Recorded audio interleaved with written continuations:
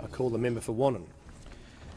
Uh, Mr Speaker, on behalf of the Parliamentary Joint Committee on Intelligence and Security, I am pleased to present the committee's report of its review of the relisting of five terrorist organisations under the Criminal Code, together with the committee's annual report for 2014-15.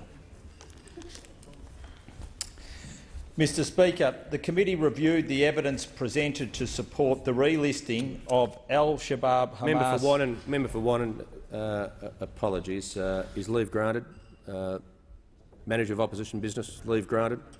Is leave granted? Yeah. Leave's granted. The member for Wannon can proceed. Mr Speaker, the committee reviewed the evidence presented to support the relisting of al-Shabaab, Hamas, Izz al-Din al-Qassam brigades, Lashkar-e-Taiba and Palestinian Islamic Jihad as terrorist organisations and was satisfied that each group continues to engage in terrorist acts.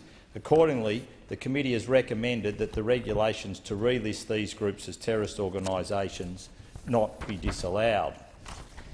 In considering the relisting of the Kurdistan Workers' Party, or PKK, the committee sought additional information from government agencies and conducted a public hearing with representative community groups to assist its review. Mr Speaker, the committee acknowledges the Kurdish people's desire for autonomy and the right to maintain a Kurdish ethnic identity in Turkey.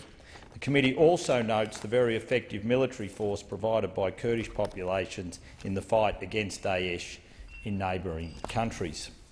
The committee carefully considered the evidence presented by representative organisations of the Kurdish communities in Australia.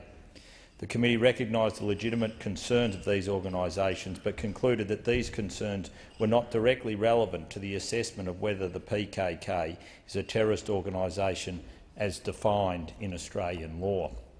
The committee also considered evidence presented about the PKK's activities, while acknowledging that the PKK has not claimed responsibility for all the attacks attributed to it, the committee noted that it had nonetheless claimed responsibility for a number of attacks. Accordingly, the committee concluded that it could be satisfied that the PKK continues to engage in terrorist acts. The committee has therefore recommended that the regulation to relist the PKK as a terrorist organisation not be disallowed. Mr Speaker, it is important to recognise that Australians do not face penalties for supporting Kurdish civil society movement or political parties in Turkey, or for supporting a peaceful resolution to the conflict and the promotion of Kurdish rights in Turkey.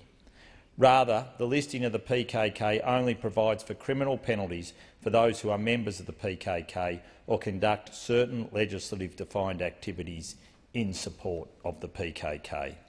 Expressing support for Kurdish autonomy is not a criminal offence as a result of the listing of the PKK, nor is the listing of the PKK the result of the PKK's support for greater Kurdish autonomy. Rather, it is the organisation's activities which are of a distinctly terrorist nature that give rise to its listing under Australian law. Mr Speaker, the committee has expressed its support for peace talks between all parties and considers that the Australian government should work in cooperation with international partners to encourage all parties to engage with the peace process in good faith.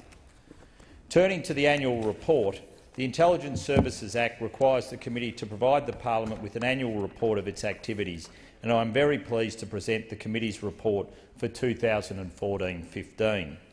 The reporting period saw significant activity by the committee amid a national focus on counter-terrorism measures. In this period, in addition to its existing oversight responsibilities, the committee conducted four major bill inquiries into reforms to Australia's national security legislation.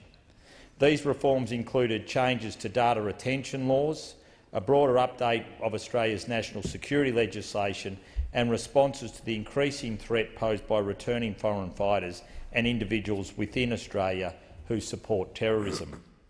In all, the committee made 109 recommendations in the four bill inquiries, all of which were accepted by the government.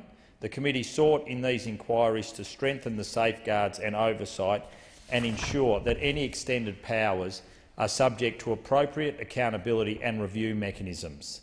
The majority of the committee's recommendations resulted in legislative change. Mr Speaker, this period also saw an expansion of the functions, oversight and scrutiny responsibilities of the committee. These expanded responsibilities include the committee reviewing the special powers relating to terrorism offences, such as control orders and preventative detention orders, and reviewing the declared areas regime and data retention scheme in the period between 2018 and 2020. In addition, the committee's oversight role has been extended to include some of the Australian Federal Police's functions under the Criminal Code. The committee will also have an ongoing review role as the data retention scheme is implemented, and I note that the implementation phase will commence tomorrow, 13 October 2015.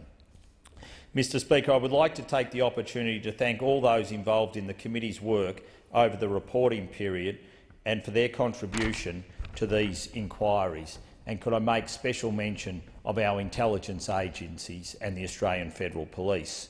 I also thank my fellow committee members, both past and present, for their constructive and bipartisan approach to the committee. Finally, I would like to thank the hard-working Secretariat who have been called on to go beyond the call of duty to ensure that the reports that we have delivered have been done so on time and, uh, I think, uh, with serious um, detail and a commitment to the task that was given to us. Mr Speaker, I commend the reports to the House.